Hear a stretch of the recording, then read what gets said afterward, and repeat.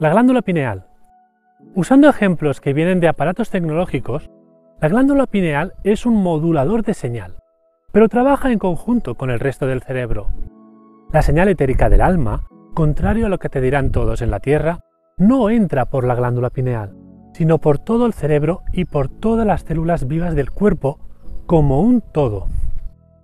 La pineal se podría decir que en sí es una interfaz entre dicha señal y el cerebro consciente.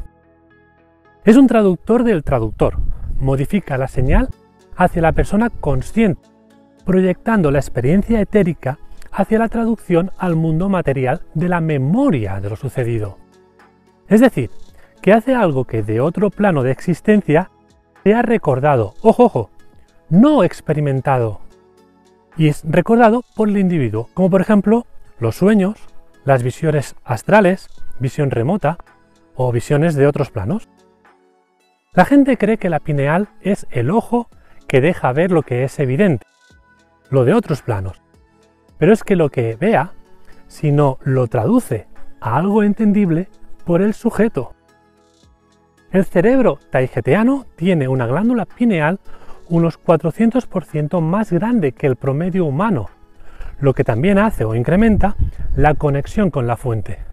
Incrementa la telepatía, la capacidad para hacer viajes astrales y usar otros sentidos o facultades llamados extrasensoriales.